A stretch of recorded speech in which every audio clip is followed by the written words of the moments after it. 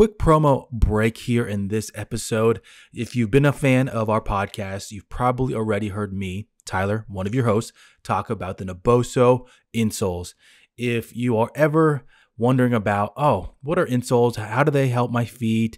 Are they really useful? I got to tell you that I've been wearing these Duo insoles for probably a year and a half now, and I think they're game changers. If you sit at a desk, if you are on your feet, so basically, anybody, for anybody in the world, they can really help with your health. If you ever have foot pain or if you have any type of issues with your feet, these can be a game changer for you. Hopefully, you take my word on it. You head to the link in the description, you buy yourself a pair, and you come back and you share it that, oh, I actually bought those insoles and they actually do work. You know, that'd be something that we'd love to hear, love to see, because that means that you're working on your health. That's it for the promo break. Let's get back to the episode and keep hearing about all the random things that Ron has to say.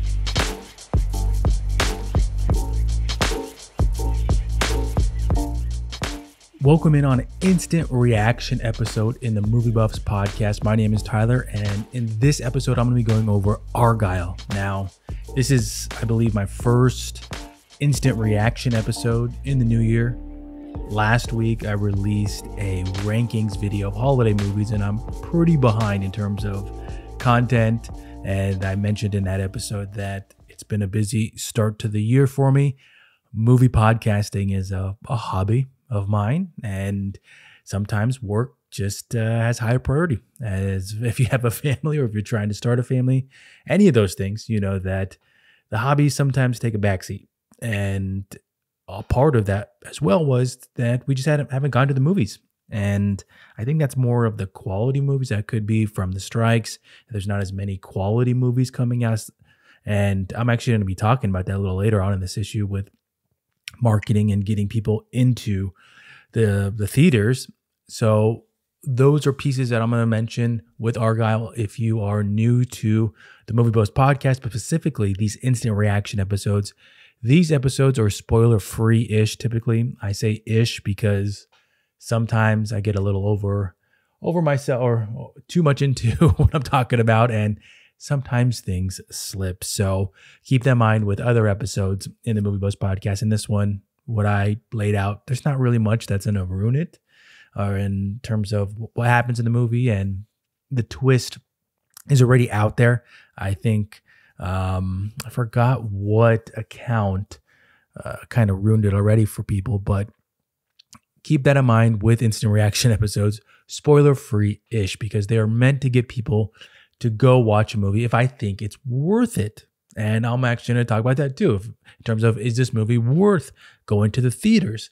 So, uh, before I get into all that stuff, I have to say thank you for listening. There's a lot of podcasts out there, even in the the movie realm. So I appreciate you taking the time to listen to the Movie Buffs podcast. Take the time to potentially like it, all that kind of good stuff. If you are listening on Spotify or Apple Podcast, if you can, take a second to head over to the Movie Buffs YouTube channel and smash that subscribe button. You can also catch up on any episodes that you missed. I'm going to start this episode a little differently here, and I'm going to talk about who will like this movie because that kind of relates to what I was saying in terms of getting people to go to the theaters. I, I, I mean this honestly that I don't think every movie fan or every spy movie fan is going to enjoy this movie.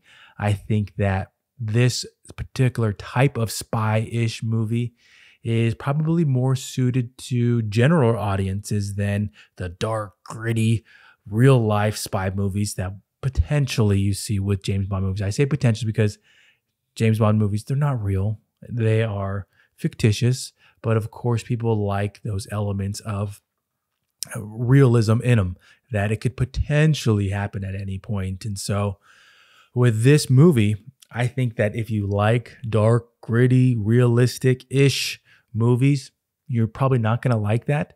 But if you are part of general pop and you like fun movies, comedy movies, or even even specifically if you like Matthew Vaughn movies, and I'm going to talk about some of the movies that he's done in the past, I think that you will like it, and it is worth then going to the movie. So there we go. Hits that caveat that I mentioned before with instant reaction episodes.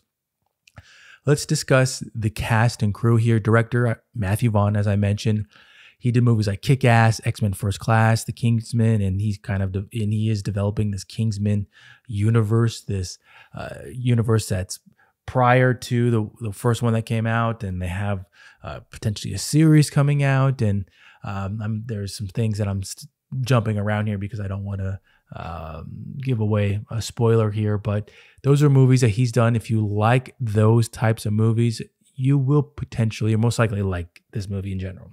Do I think it's the best one? No. Out of all the ones I just talked about, no. But it is watchable. The crew in this one, so the cast Henry Cavill, Dua Lipa, John Cena, Bryce Dallas Howard, Sam Rockwell, Bryan Cranston, and Samuel L. Jackson. Let me give you the IMDb storyline here. Elly Conway, an introverted spy novelist who seldom leaves her home, is drawn into a real world of espionage when the plot of her books gets a little too close to the activities of a sinister underground syndicate. When Aiden, a spy, shows up to save her, he says, from being kidnapped or killed, or both, Elly and her beloved cat Alfie are plunged into a covert, covert world where nothing and no one is what it seems. So, this movie, uh, and this is where I'm segueing into here, is based on the real life author Elly Conway's fourth book released earlier this year. And I saw part of this when I was looking it up if this was based on a on a book. Somebody, I think one of the headlines was, "How can this movie be based off a book that hasn't even released yet?" I don't know. I I thought that was just funny that people that that's one of the headlines that they'd put out there. Who cares? I mean, it's not real. It's fictitious. They probably just drew from some of the concepts from it. I don't know. I didn't read the book, but people get all all up in a stir about things these days. And so, if you are interested in learning more potentially about this story, I believe my wife is going to listen to this book. She listens to audiobooks and she's going to laugh when she, she hears that in this episode. I said she listens to books. She doesn't read books, she listens to books. And I'm going to now get into one of the bigger topics in this episode, and that is the issue with the marketing of it. Because that was one of the big things I, I had an issue with. And I mentioned that in a reply to an account on X or on Twitter when this account asked what people thought about it. And this was my main issue with the movie is that the movie is marketed as Henry Cavill, Dua Lipa, and John Cena are uh, center stage. I think Samuel L. actually.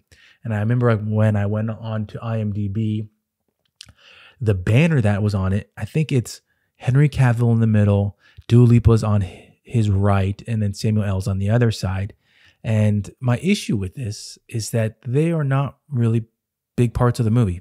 They are um, a part of it in a way that, I mean, maybe altogether their scenes add up to three minutes. Honestly, I, am thinking out loud here, but they're not really a big, big part of the movie. And the big part, the main actress, actor is Bryce Dallas Howard. She is the main actress in this movie, and she, I feel like she's like the third or she's like the third person in this banner off to the side. And as you go back further, it gets blurry and blurry in this image. And she's the main person in this movie, and yet she's not center stage in the marketing for it. And that might be because uh, they're trying to hide what the twist is with this movie. And like I mentioned before, there's an account out, I, I forgot which one it was. It's one of those Hollywood reporting ones that mentioned what this movie, what the twist in this movie is. I'm not going to say it because I don't feel like it's worth it, but it, the, the, twist is already out there. I don't think it, um, it kind of does. I knew it before going into this one, but she is the main actor, actress in this movie, and yet she's not front stage. That's my issue with this, and I think that that goes part of the marketing that you see these days with movies is they try to trick people into getting to the theaters. And when you're tricking people instead of focusing on what actually draws people to the theater, I think that you're going down a path that is only going to get worse. And then you create these these discussions. Why aren't movie people going to the movies? Why aren't people? And once you go down that path, I think that uh, all of a sudden you're going to get to a place where uh, studios are not putting out even more movies because they think that whatever they whatever issues that they're coming up with are the ones instead of looking at why are we poorly marketing these movies why are we uh, continuing to let people that market these movies poorly continue to have these jobs. There are people out there that I'm sure are much better marketers and could actually put forth content that is going to get people in the seats. Some examples that I came up with is Pixar. I have a big issue with Pixar marketing these days. I don't I don't have issue with the, the movies that they're making. It's the marketing. If you think back to when Coco was coming out, what was the big draw in my mind when you saw trailers? It was the visuals, how they were creating these amazing universes, these scenes uh, with with graphics and the the the content that they were creating, how intricate it was, all these little details going into a trailer. And when you saw it on screen, I remember when they uh, they flashed to this uh, the world that he he went to, the dead world that he went to. It was amazing, and you're like, oh my goodness, I want to see that. I want to go to the theater and see that. And when I think about the last movie that came out from Pixar, Pixar, Wish, they tried to lean into the the comedy of it, and it just continued to get older and older in terms of this is not even funny. Why are you showing this when I I'm sure there are scenes in that movie that are gra- in terms of the graphics and the visuals that I'm sure are amazing. I mean, they have a star on it, about uh, wishing upon a star or something like that. But I'm sure there are is some scene in there that is just mind blowing when you see it. Another example here with Pixar was in that movie Elemental. In no marketing pieces for Elemental did I see anything about. There's a scene where when they go underwater and then they find I, I don't know what kind of flower it was, but it's just, there's under, underwater flower and it is graphic. The graphics in it, the visuals in it are just stunning you see and you're like, oh my goodness, wow, that looks really great. My first thought when I saw it, I was like, I wish I saw that on the big screen. I bet that looks amazing.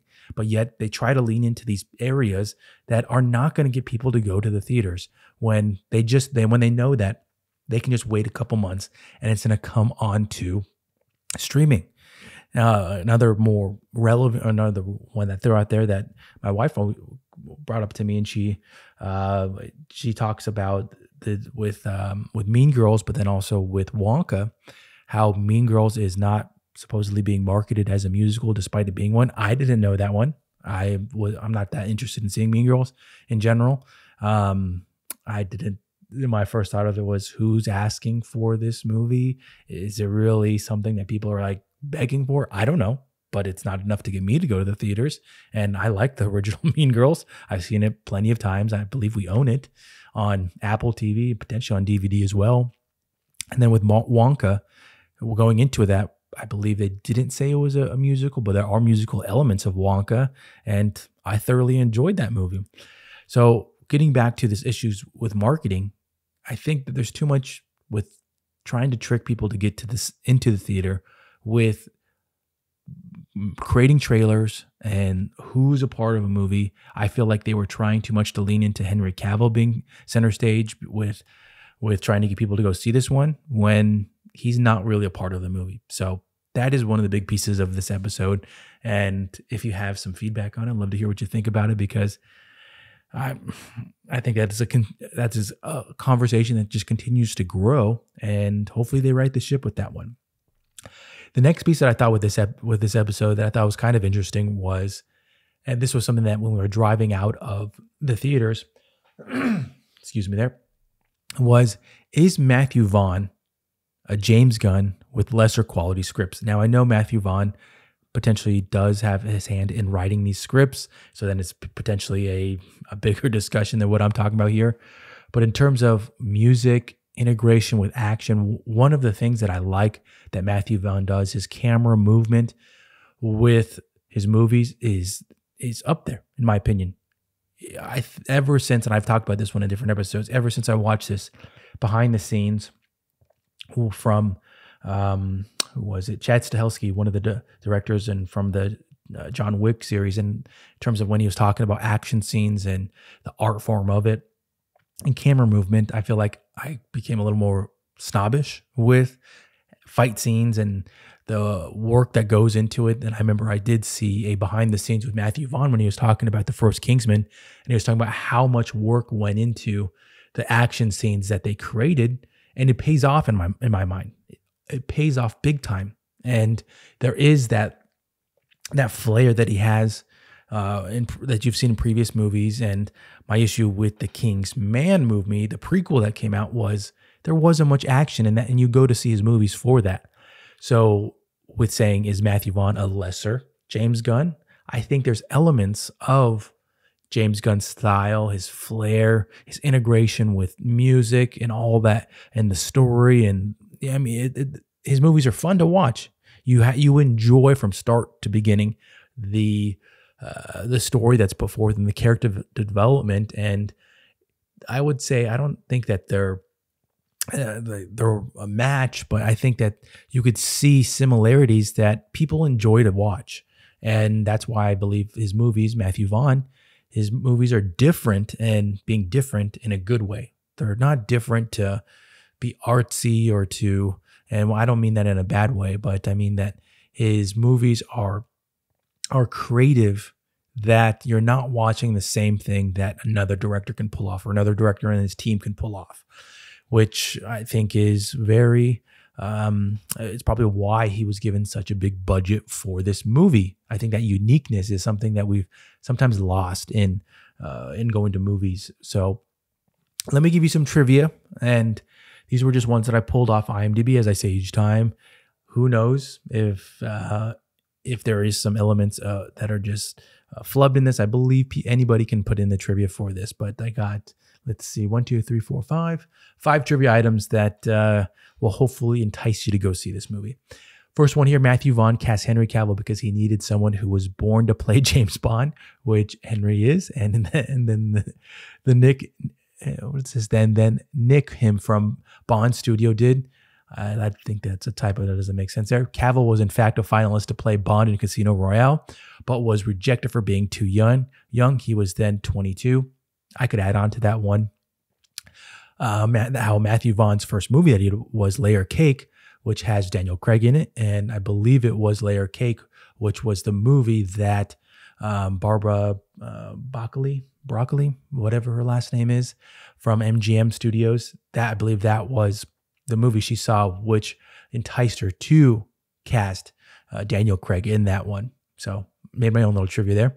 Next one, Elfie the cat is played by Chip, owned by Matthew Vaughn's wife, Claudia Schiffer. I threw that one in there because dang, Matthew Vaughn, wife's his wife is Claudia Schiffer. Pretty nice there.